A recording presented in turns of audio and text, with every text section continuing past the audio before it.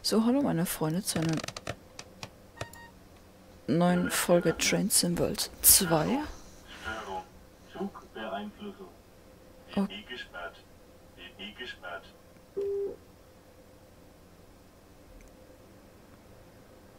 Okay, danke, lieber IC.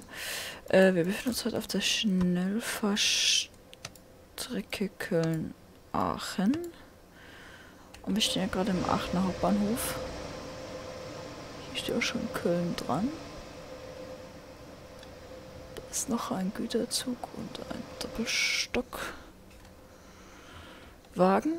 Wir rüsten hier gerade noch den Zug auf.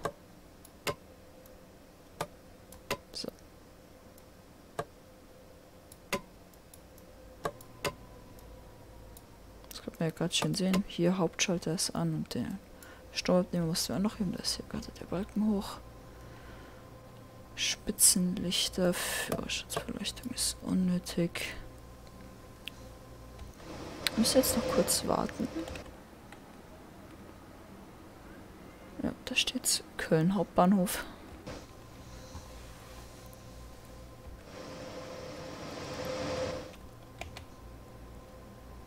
Also wir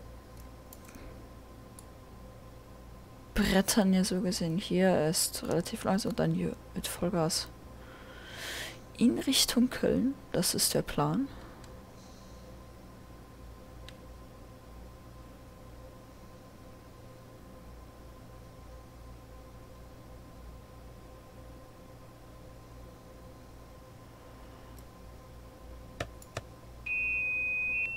Schließvorgang eingeleitet. Jawohl, Schließvorgang.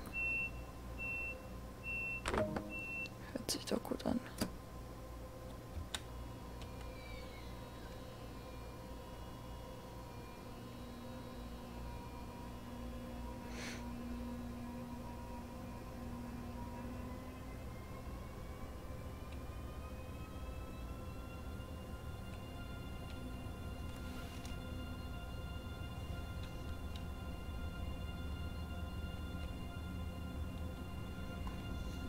So, Ausfahrt mit 40 km/h.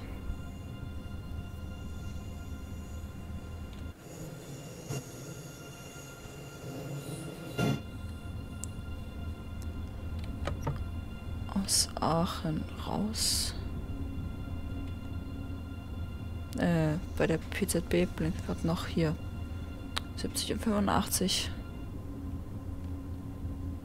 Ist nichts anderes wie dass wir gerade noch überwacht werden, dass wir nicht schneller als 45 fahren. Fahren aber gerade nur 35. Kommt gerade ein Kollege mit seinem Talent 2. 1, 2, 3, vierteilig. Gibt es hier im Spiel in verschiedenen Ausführungen. Die gibt es ja auch dreiteilig oder so. So, ab hier ist 100. Zugbeeinflussung. Zugbeeinflussung. Also haben wir uns aus der Geschwindigkeitsbegrenzung befreit. Noch ein kleines Stück, bis wir auch wirklich der gesamte Zug aus dem 40-Bereich raus ist.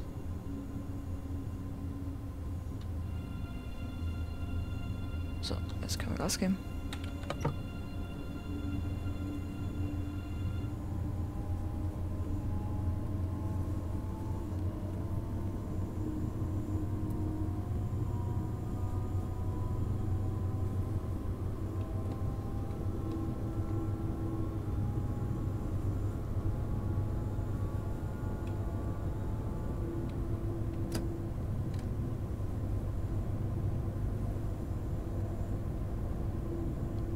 Grünes Signal.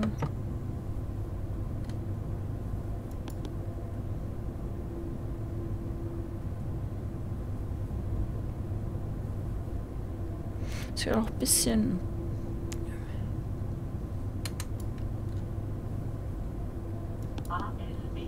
so. Jetzt hat sich gerade die AFB aktiviert. Auf, äh, auf Deutsch nichts anderes als Tempomat für den Zug. Das war schon 120.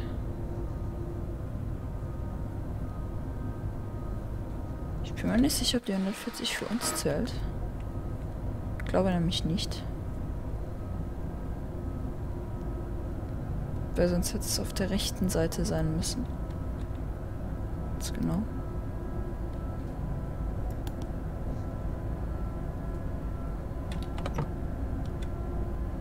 Steht da weiter noch 120.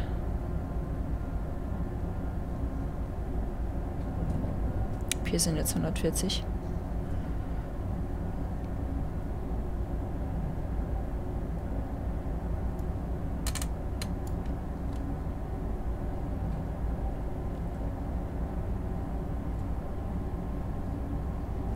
Ist auch weiterhin alles auf grün. Ja. Wir müssen jetzt hier erst noch durchschlängeln, bevor wir wirklich Stoff geben können. Nächstes Signal ist auch grün, perfekt.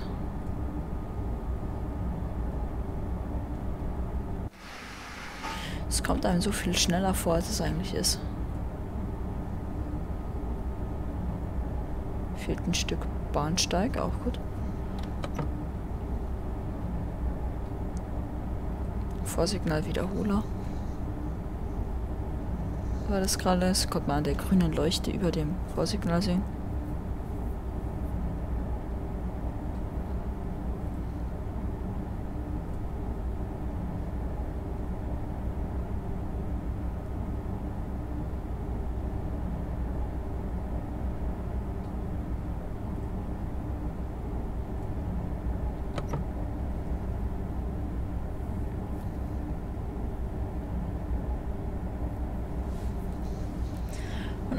Es eine komfortable Reisegeschwindigkeit für Regionalzüge, beziehungsweise 160, aber hier für den ICE. Ist es vergleichsweise noch langsam?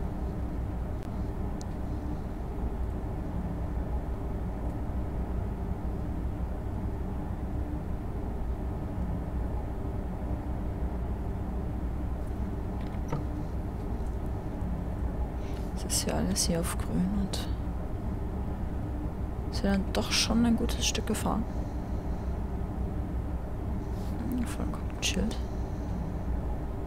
Was möchtest du uns mitteilen?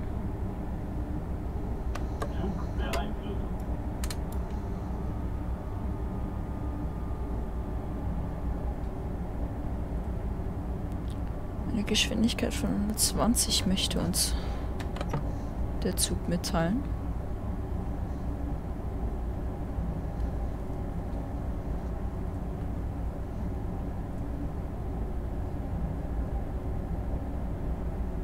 Vorhin ist es auch schon.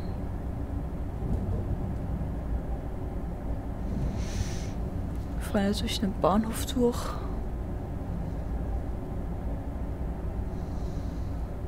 Ahnung, was für ein Bahnhof das ist. 111. 111. 110. In einem Kilometer.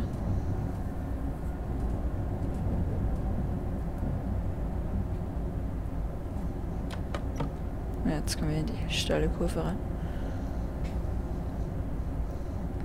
Die ist langsam zu befahren. Kommt das Hauptsignal. So, hier sind jetzt die 110 km/h.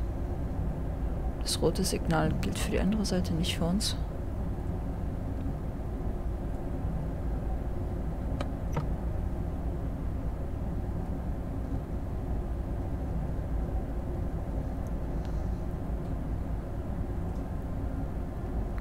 Zügner.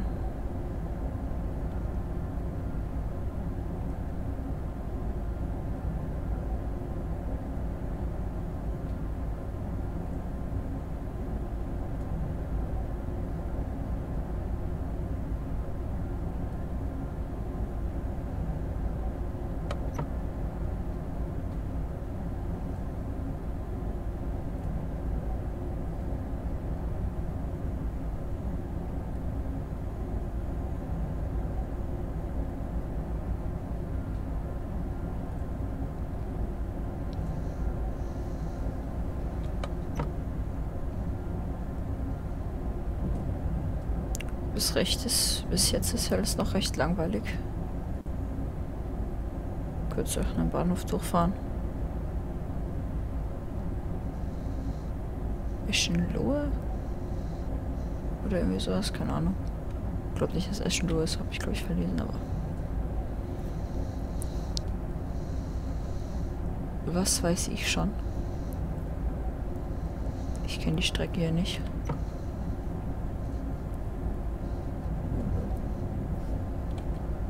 So langsam sind wir hier raus. Bahnübergang. Auch selten, dass ein Easy über Bahnübergang fährt. So, da war gerade eine 160. Das ist schon eher, was wir sehen wollen. Genau, wir können die AFB ganz nach vorne legen auf 330, weil in Deutschland darf kein Zug ohne LZB, das wäre das hier. Ähm, schneller als 160 fahren. Beziehungsweise Güterzüge sogar noch 100. Deswegen ist das hier egal.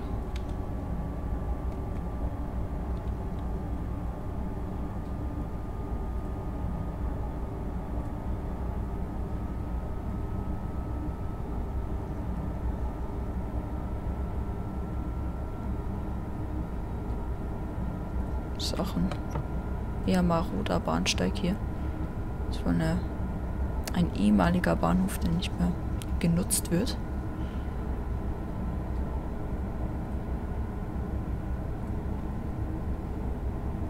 Kollege Mem. Rio-Zug 1, 2, 3, 4, 5, 6, 7.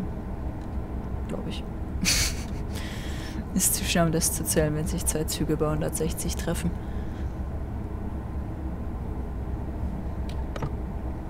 Es gibt tatsächlich, jetzt wir den Interregio-Zug gerade sehen, äh, die Züge sind nur so gebaut, dass sie das nur aushalten, wenn ein Zug mit 160 an ihnen vorbeifährt.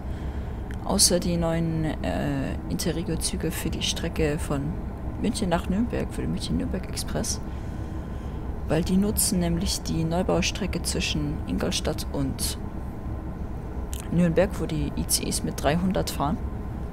Deswegen mussten da von äh, Skoda die Doppelstockgarnituren extra sogar äh, gebaut werden, dass die Türen äh, de, den Druck aushalten, wenn ein ICE mit 300 an denen vorbeifährt.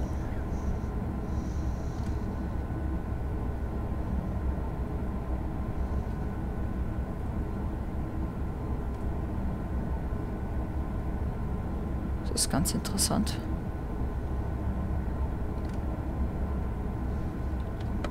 So, so langsam, ich glaube nach dem Bahnhof hier, der jetzt kommt,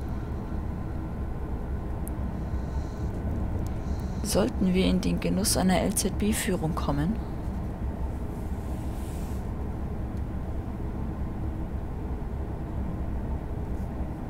Fahren ja auch einfach straight durch. Westlich 17 Uhr, genau, hier sind so Sicherheitsweichen. Hier, in den Prellbock dass da eben nichts passiert. Die schalten sich sozusagen kurz vor der Ausfahrt auf die Hauptstrecke und danach gleich wieder zurück. Es ist bei vielen Schnellfahrstrecken so einfach als Schutzmaßnahme.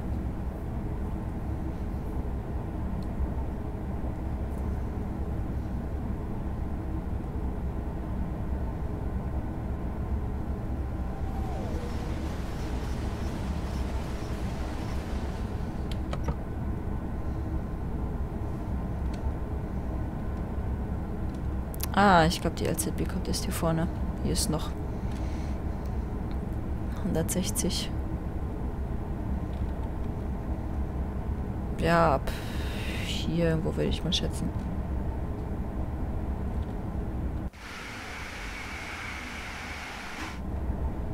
Hier ist noch ganz normal fahren mit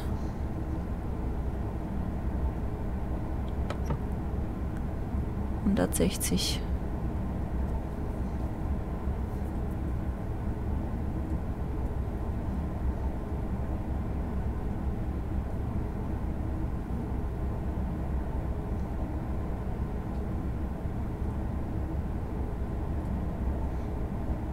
Falls sich jetzt welche hier in der Anzeige hier wundern, warum wir vorhin die ganze Zeit gebremst haben.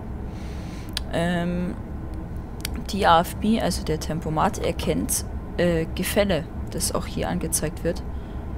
Das heißt, er erkennt, wenn es bergab oder bergauf geht und bremst bzw. beschleunigt demnach den Zug.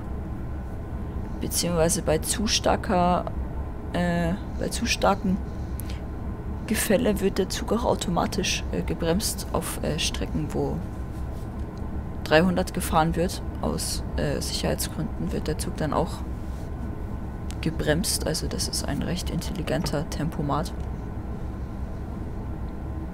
Nicht einfach Geschwindigkeit halten, sondern der ist recht intelligent und auch für sozusagen dafür gedacht, dass halt eben der Zug sicher unterwegs ist. Was ja auch wichtig ist, wenn so um die, wenn man jetzt sagt, man fährt mit zwei ICE-Zügen, wenn dann über 1000 Leute da drin hocken. So, ab hier ist LZB. Hat sich gerade auch angekündigt. So. Ja.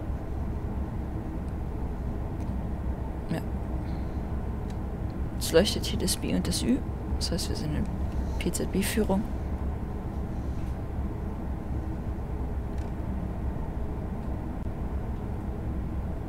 Äh, PZB-Führung. LZB-Führung. Entschuldigung.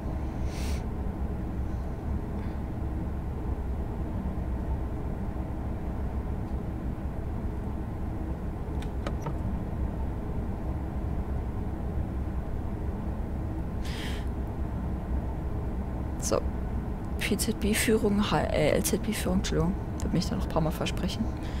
Ähm, heißt sozusagen, wir müssen die normalen Signale werden jetzt entweder dunkel gestellt auf den neueren Strecken, beziehungsweise gelten nicht mehr für uns. Ja, genau. Jetzt ist er hier auch schon hochgesprungen.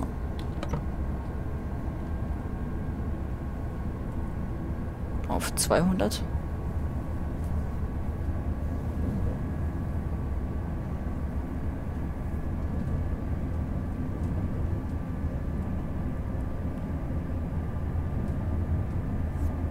Du eigentlich auch den Hebel einfach ganz nach vorne legen.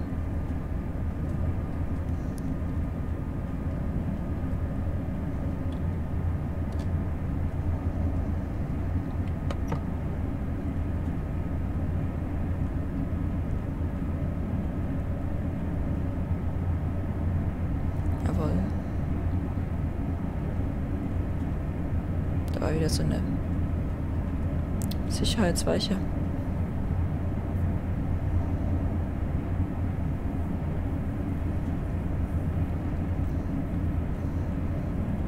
kommt uns ein ICE entgegen. Ich glaube, hier drüben die zwei Gleise sind actually jetzt für Regional- und Nahverkehr. Ja, genau. So, 250 km/h müssten das jetzt sein.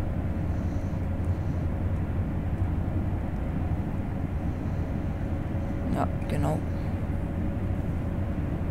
Wenn jetzt immer so die Landschaft anguckt, das fliegt jetzt einfach nur noch vorbei.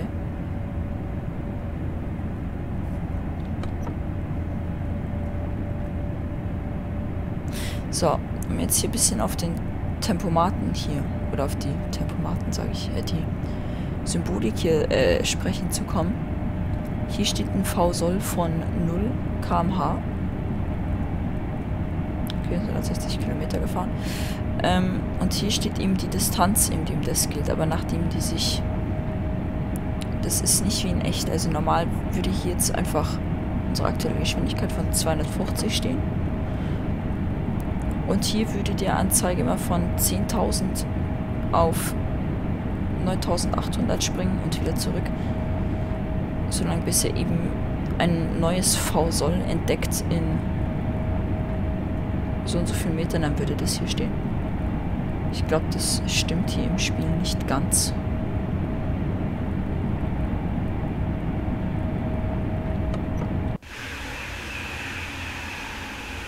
Rast hier einfach lang der Zug.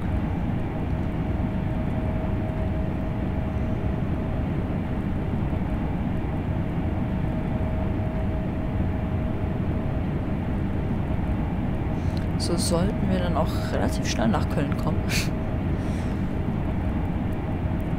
250. Hier sieht man auch wieder schön, dass die Oberleitung nicht gerade verläuft, sondern so immer so eine leichte Links-Rechts-Bewegung macht. Eben damit die Oberleitung nicht den Stromabnehmer durchbaut. So, jetzt wird uns ja schon hier das G für Gefahr angezeigt. Also der Tempomat bremst jetzt für uns. Eben weil jetzt hier in 6300 Metern eine neue Richtgeschwindigkeit ist.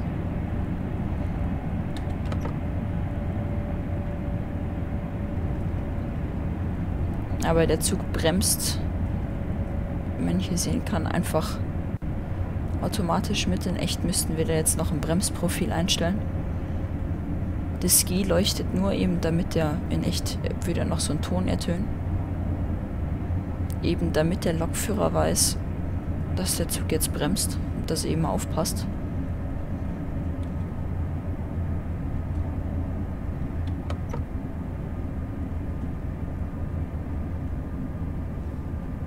So, jetzt ist hier die Zahl weg. Ab jetzt können wir eigentlich genau von hier an der etwas detaillierteren Symbolik die Geschwindigkeit ablesen.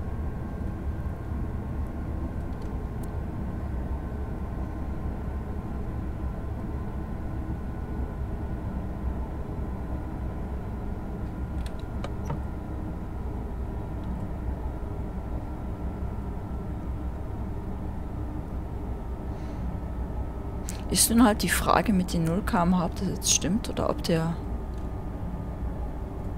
wirklich einen Halt erwartet.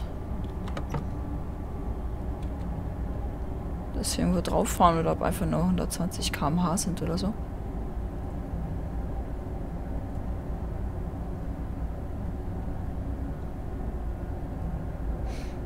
Ah, nee.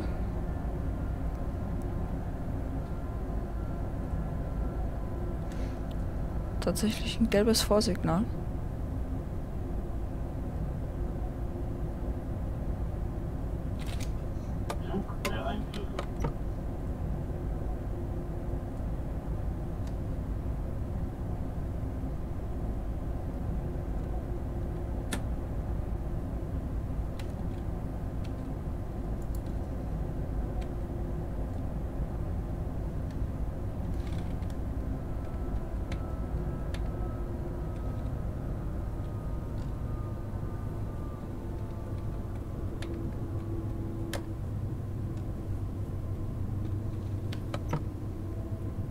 So, wie gesagt, das G ist jetzt weg.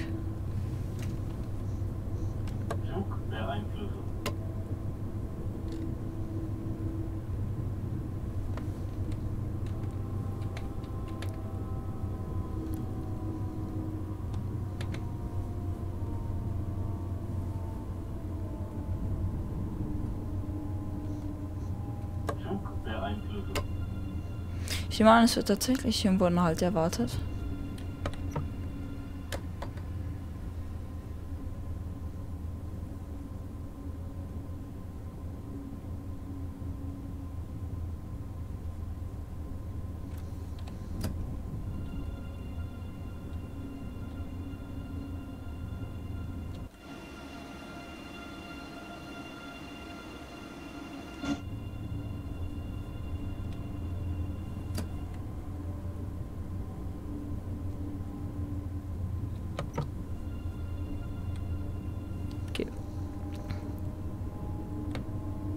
Nächste Signal ist in 4000 Metern.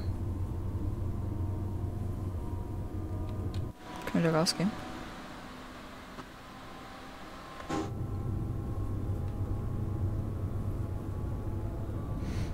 Kann schon davor sein, wo das wieder hochgesprungen ist, dass es da auch schon war, so war, aber ich bin mir gerade jetzt äh, nicht sicher, ob jetzt mit dem grünen Signal ist es doch mal eindeutiger.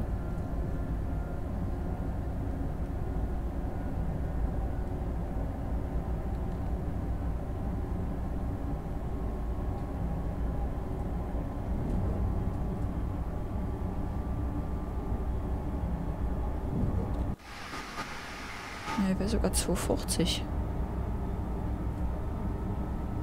Laut Spiel.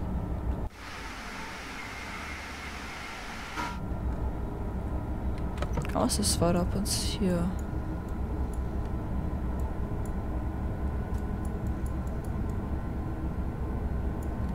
Ja, vor uns fährt ein Zug. Das wird der Grund sein.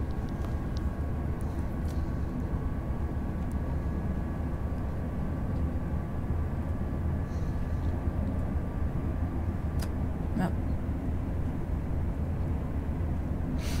Das springt jetzt hier mal so mit. Mit unserem vorhergehenden Zug.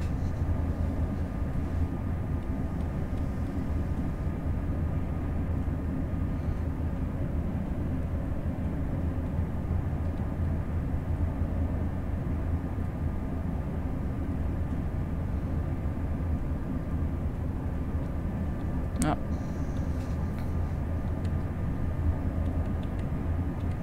Das springt jetzt mit ihm immer mit.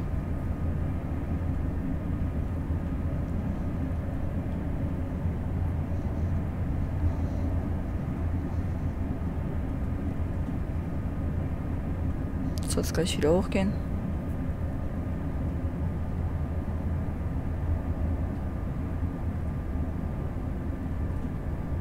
Außer es ist wirklich was.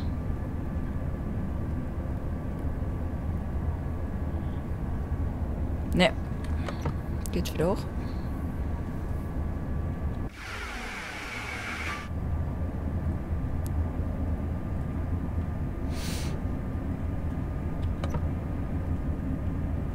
Ich gehe einfach mal jetzt wirklich stark davon aus, dass vor uns was ist, auf das wir aufgefahren sind.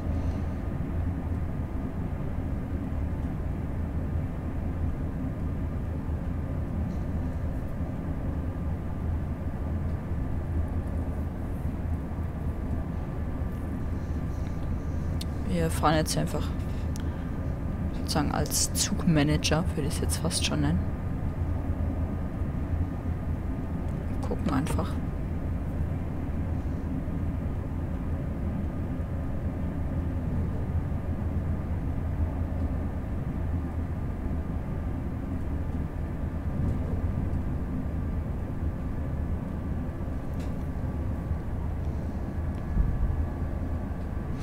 Auch mir der Zug beschleunigt jetzt gerade.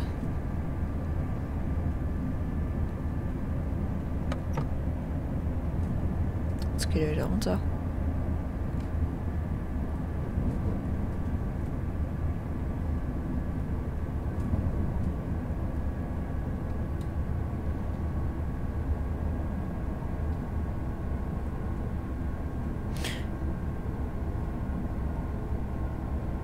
Kann jetzt aber natürlich auch gut sein. Das jetzt hier vor Köln. Genau.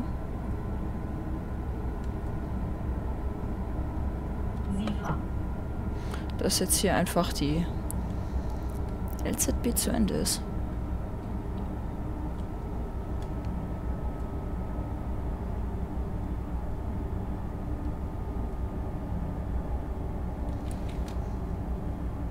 Zug beeinflussen.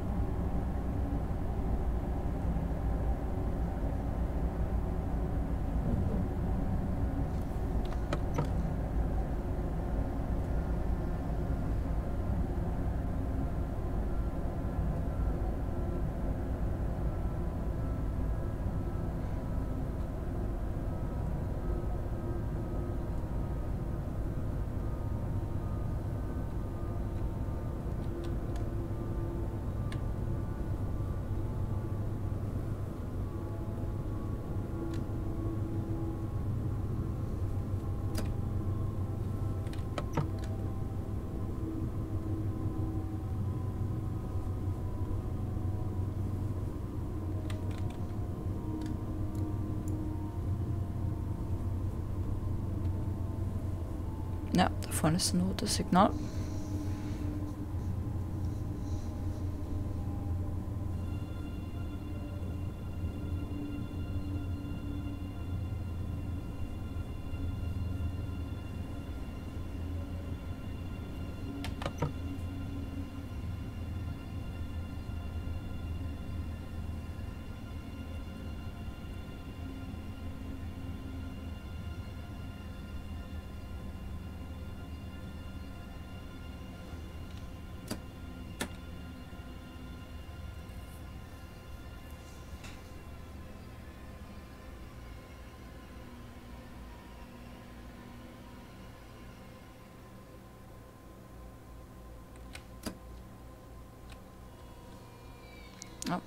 Jetzt kam wieder die Fahrterlaubnis.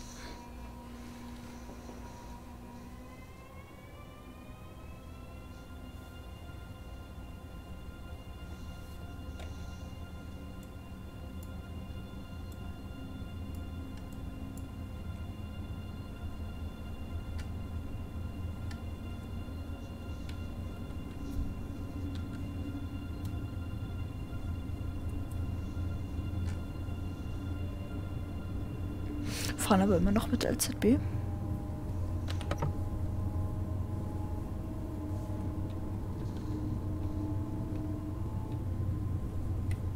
Gesagt schon wieder Gefahr.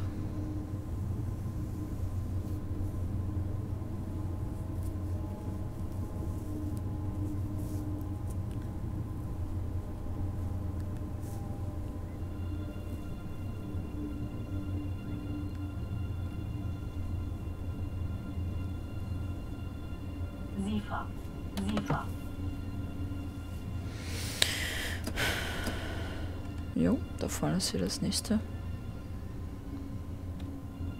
Okay, ist wieder umgesprungen. Gerade eben.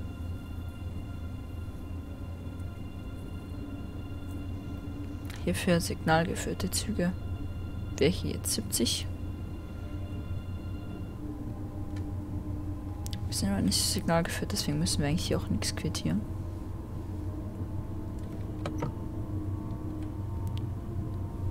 Was macht die LZB äh, zusammen mit der AFB? Alles für uns.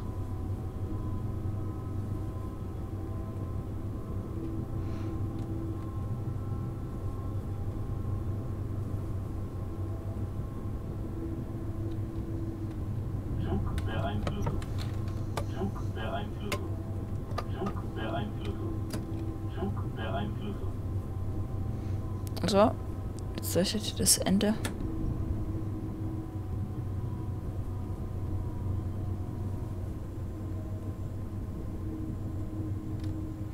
So, jetzt hier noch auf die 70 runtergeriegelt.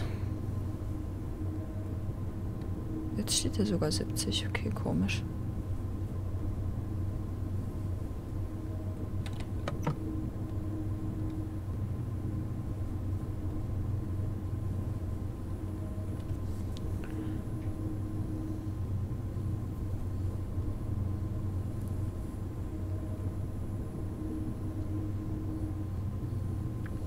Ja, wie gesagt, das Ende heißt einfach nur, dass die LZB jetzt gleich weg ist.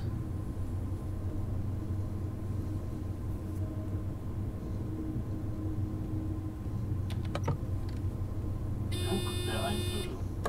Zugbeeinflussung. Zugbeeinflussung.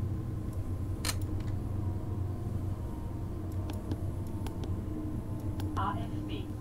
AFB. So. AFB. Kurz die AFB ausgemacht.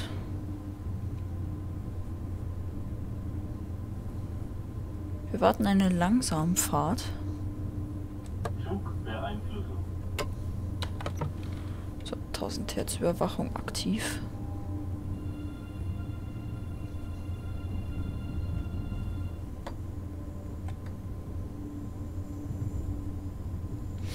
Bin mir gerade nicht so ganz sicher, aber ich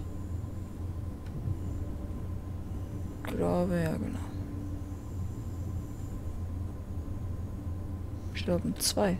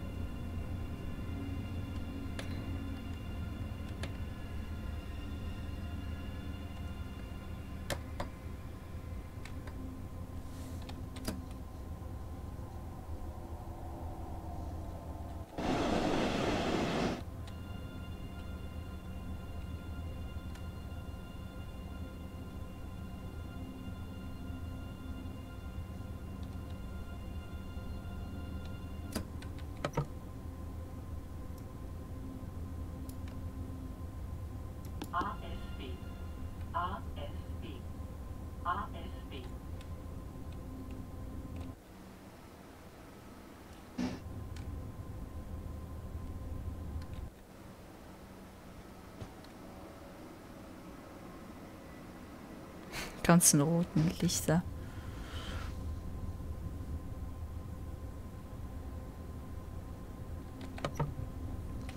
So, na dann. Sind wir in Köln mit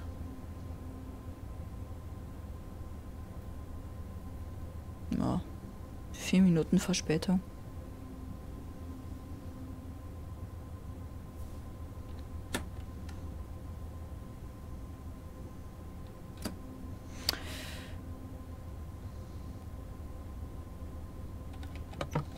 Darf schon nicht einsteigen, weil unser ICE ging ja nur nach Köln.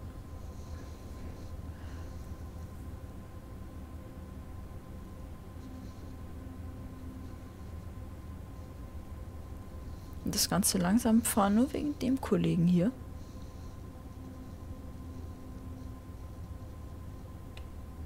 Der vor uns gefahren ist. So, AFB. AFB aus.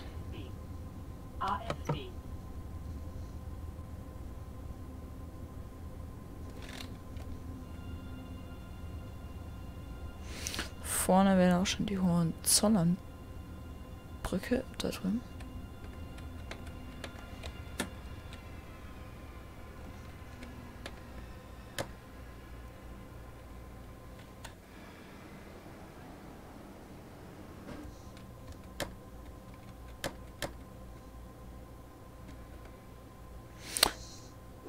Ja, Türen geöffnet. ups. Ne, der Regler, der ist ein bisschen komisch. Der ist nämlich spiegelverkehrt.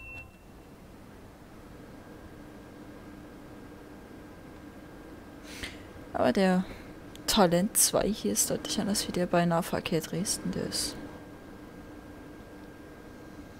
Zugzielanzeige sieht da nicht so schick aus. Ah, jetzt sitzt auf einmal einer drin. Okay.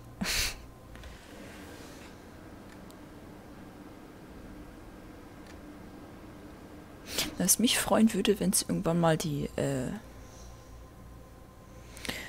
dann noch die Schnellfahrstrecke von äh, Köln nach Frankfurt geben würde über äh, Montebauer und Frankfurt äh, Flughafen. Könnte man nämlich sogar 300 fahren und vielleicht könnte man ja dann die zwei Strecken hier verbinden.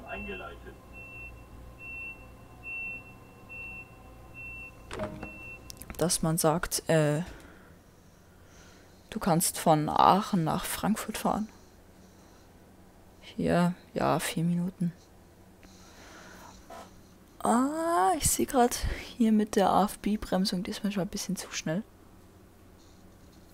Aber keine Zwangsbremsung, das ist gut.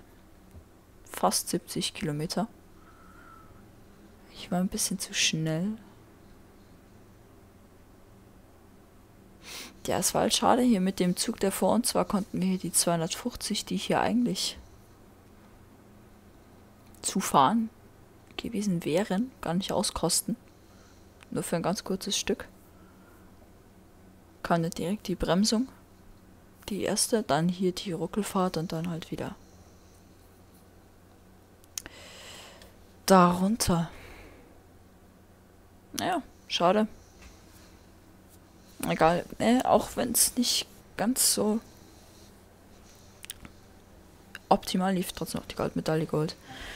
Äh, ich hoffe, es hat euch gefallen und ja, wir sehen uns dann beim nächsten Video. Tschö.